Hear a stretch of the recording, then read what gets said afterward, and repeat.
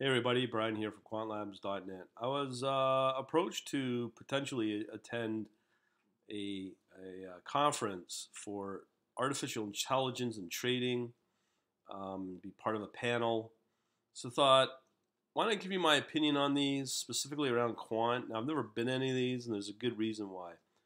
Um, the reason I don't go to a lot of these conferences is that I've been to enough in other industries where it's just a bunch of people getting together, networking, uh, and uh, sharing trading ideas, which is fine. But I guess for me, I'm in a unique situation where I run this, this website, my blog, my social media, and I've got, I estimate 10, 15,000 people that are part of that. I get a lot of trading ideas um, that come to me uh, if I put the word out for anything I need or want, like capital, trading ideas, I get a slew of people that approach me.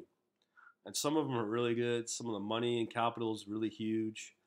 Um, so I could talk about that as well. But let's just focus on the conferences. A lot of these conferences, from what I'm understanding, are attended by, uh, in this vein, a lot of academia. My experience with our um, people that do so-called R models and R trading in the world of, as I said, R. A lot of them come from the world of academia, and a lot of them don't trade. So when you come up with an idea, you try to commercialize it, they'll slander you for it. So the R community is, to me, not a good community to be part of. Python, I can't really say. Um, I've only been at it for a couple of months, but I've not received the hate and, and the negativity that I've had with Python. So there seems to be some good uh, quant conferences related around Python, which is good. Obviously, there's this one called QuantCon. Um, just find it here. Uh, this one, no. Um, here it is. Uh, put on by Quantopian. Uh, we know about Quantopian.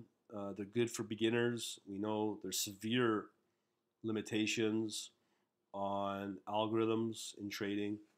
Um, from what I, I, last I heard, it's been probably a few months.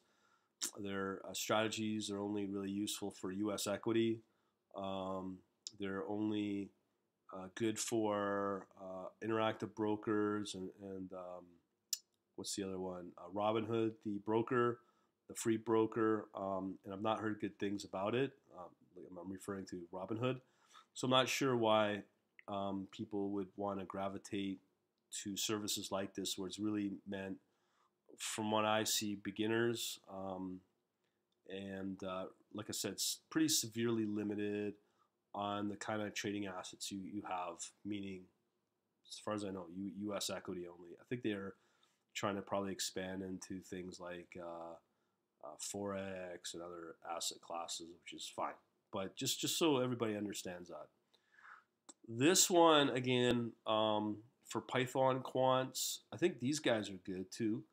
Um, the one thing I like about this particular, if it's put on by um, the Dr. Eves Yips, I, I, don't know the guy's name, but um, I've gone through his book. It's it's awesome actually. It's one of the best books that I've come across.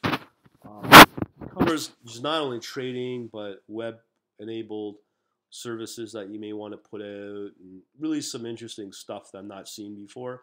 So I can't really say uh, this one, but um, if it's using the philosophy that I like, where you create your own source code, deploy your own source code, that's good.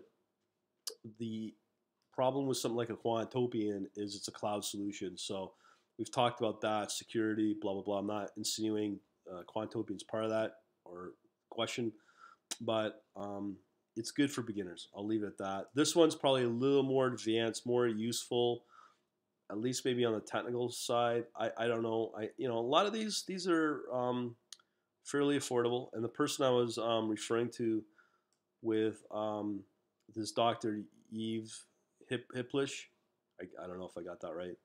Um, but this is quite good. His book is is is good. Out of the let's say the three uh, for Python development and trading, QuantStart, Quantopian, um, and some other ones I've seen. His book, this this book is, is is the best one out of all of them.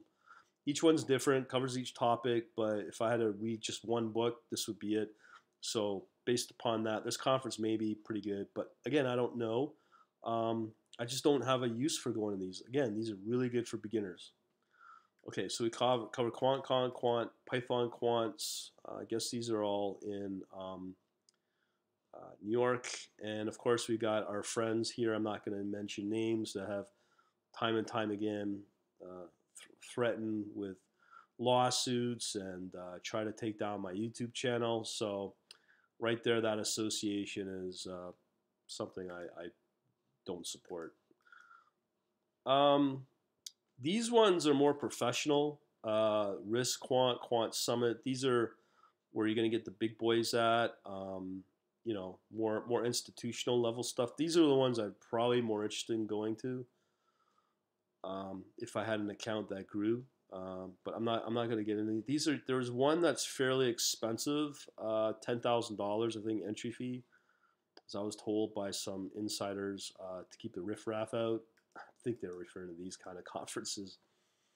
Um, so these are again more um, institutional and a good place I know to know um, why they're good is because of the sponsors. Numerix is a good, uh, I believe it's a, a, library. Again, I don't know, but I'm not an expert in any of this. Quant conferences, I have no idea what this is about. Um, I guess uh, some of these are coming up. I'll talk about the trading show in a minute. Um, talk about this one. This if this is the one that I think is the best one you get all the head of, um, look at all the banks. Global head of risk and analytics, HSBC, head of quant solutions, uh, Bank of America, Merrill Lynch, Bloomberg, uh, Bruno Dupire.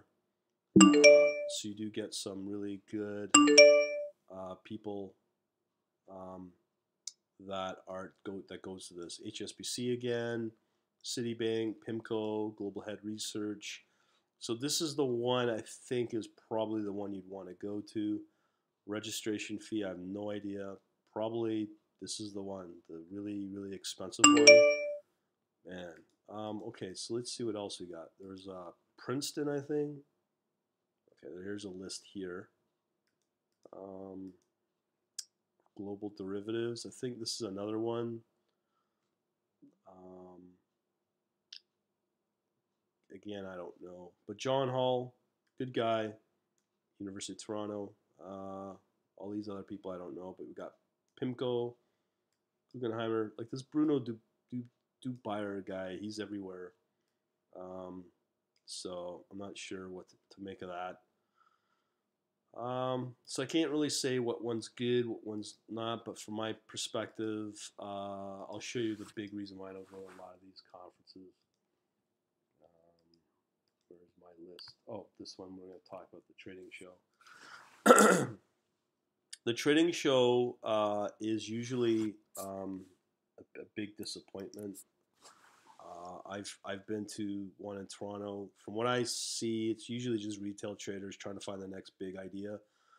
Um, and it's just commercial stuff, you know, vendors and stuff selling trinkets of, of ideas, black box technologies I've hinted at on the weekend in, in, in an email. Um, for me, I, I, don't go to these. Um, some may be useful for others. They're, they're outside of development, I guess. So I guess they're useful for people.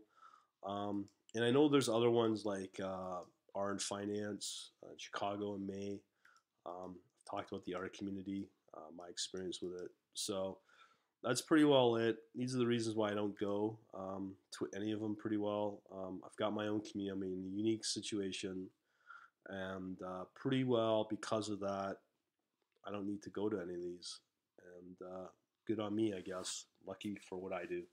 And thanks, thankfully, I've got a great community of people that help me out and try to indirectly help them out. So there you go. That's why I don't go to uh, these trading conferences. Talk to you later.